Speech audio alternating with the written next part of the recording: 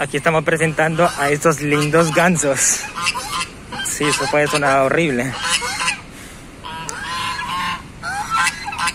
Pero bueno, los gansos tienen una característica, es que tienen un sonido muy fuerte, como no lo tienen las demás aves.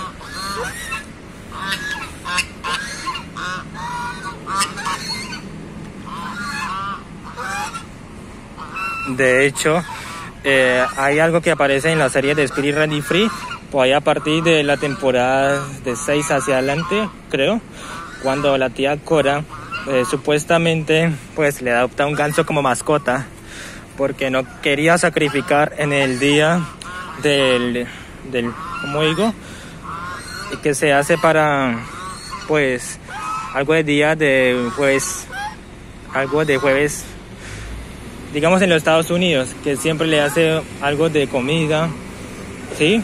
Tiene que ver relacionado con la santidad de que Dios siempre la ha preparado para ellos.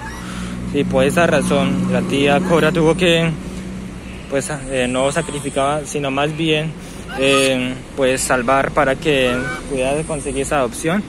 Y, y por eso que tuvo que educarla así, hasta que la mayoría de episodios como el de Globo, Terráqueo, Sí, cuando fue mm, como una especie de aventura en las montañas y el, y el volcán.